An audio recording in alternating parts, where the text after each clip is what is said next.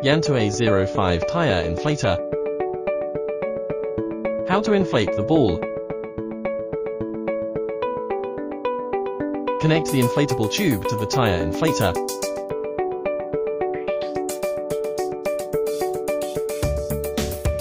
Install the ball pump needle. Then connect the ball. Set the pressure value and short press set button to start. Wait for automatic stop. The same method is suitable for gas balls such as football and volleyball. Now you know.